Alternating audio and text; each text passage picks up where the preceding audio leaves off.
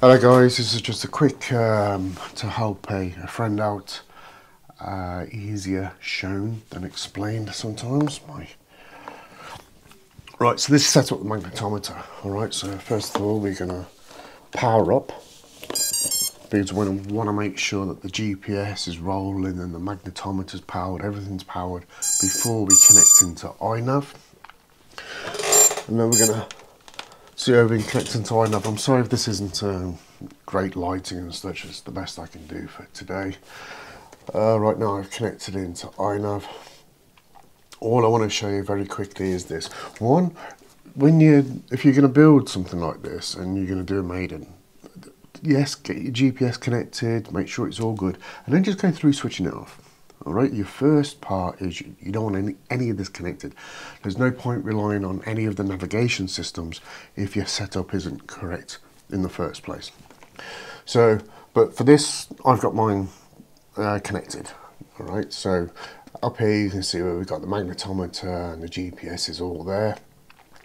And now what we're going to do now is you can go down to the magnetometer down here and you can look and you can go, oh, I can fiddle about with it down there. But if I were you, I would just go up to the um, setup and this is when you can test how you've got your setup, right? So what you want to be able to do is you want to be able to turn the craft forward like this and that thing shouldn't really move maybe one or two degrees. Now I'm on top of a metal table, so mine will be a little bit further out. And of course, problem is if you do this, let's say you go and put yourself into uh, return to home, and it turns down like this, and on the setup, if you can see it starts swinging left or right badly, um, I'm going to show you that right now. Uh, you got a problem, you got to fly away, and that's how that's just how that works. So you can come in here and you see board and center alignment, mag alignment. Now you can do it all from this magnetometer tab if you want to, but personally I just do it from down here. So what I'm going to do now is I'm just going to switch mine out. Mine is CW 270 degrees flip. That's when mine's in the correct position. So now I'm just going to put it into CW without the flip, and this is what I think a friend did on uh, his maiden, which caused the uh, the craft just to flip off. All right, so now we can see it here. Let it just get itself uh, runtime calibrated. Yep. Yeah, by the double beep. And now when I start pushing the craft forward like this, you will see, you should see, the darn thing going off in a different direction all right and depending on how badly that is actually set up depending how badly that's going to go off in a different direction and what can happen as well is that it's um, it's we're going to go back into the configuration and I'm just going to change it onto one that just shows it a bit more prominent so I'm going to go to let's just say uh, 180 now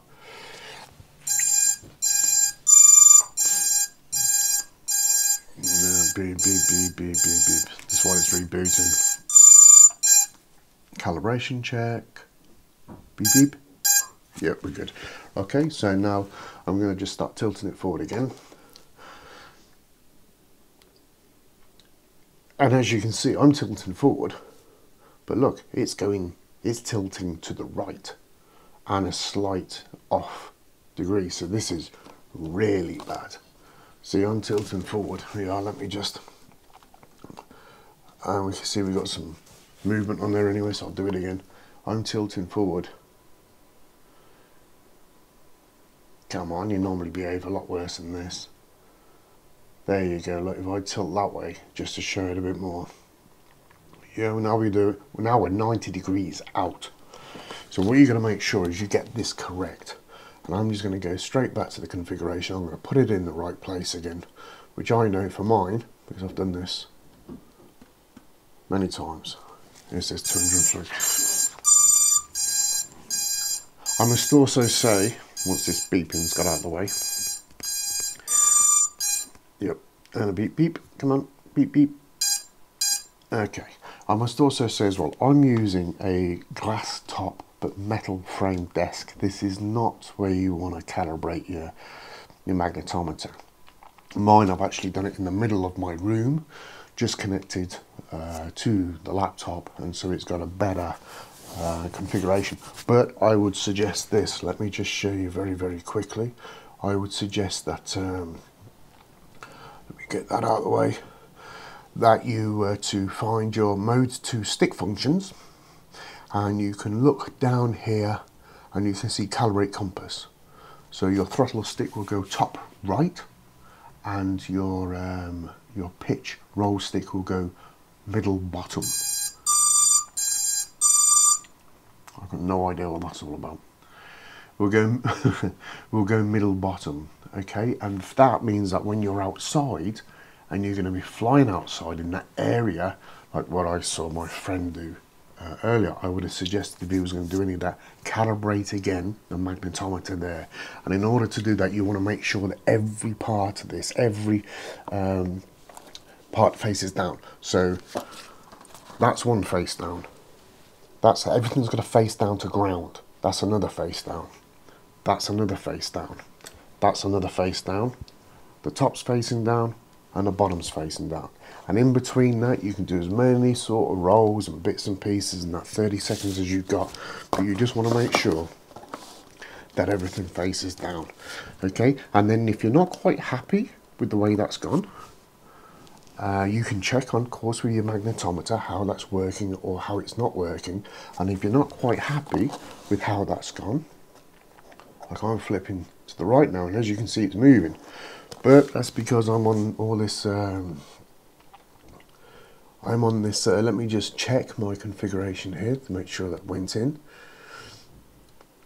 And I won't try and do any of this uh, navigation things until, yep, we're on the right place, uh, until I know that this is correct. So this to me, like this, even though I know it's correct and I know it's generally okay, um, to me, it is still not very good.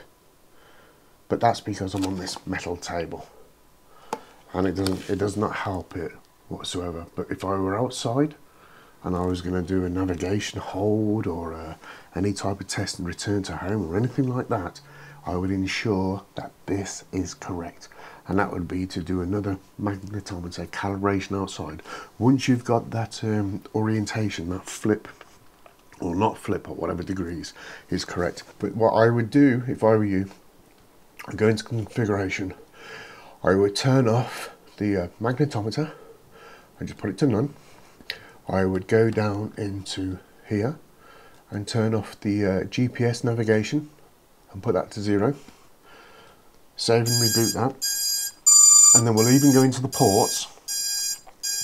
Right, you just got to remember which port you use for the GPS to make this nice and simple to switch it back again. Even go into the ports. Yeah, and we can turn off the GPS. I'll have to save and reboot that again. I wish these were quieter. I don't want to shout over the top, we'll just start distorting. Alright, and then if you've got any of your modes, and they're already pre-set up for any of the navigation, mine aren't, if they're already pre-set up for any, just undo it. You can always put it back, there's no big problem. So all you want is your arm, mine's on channel 5, angle channel 6, horizon on channel 6 and of course it defaults when there's nothing chosen into acro. But if I were you, absolutely correct, go for angle mode to start off with.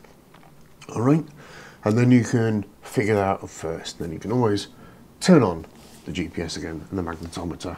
I hope that helps and um, uh, happy flying amigo. See you out there soon.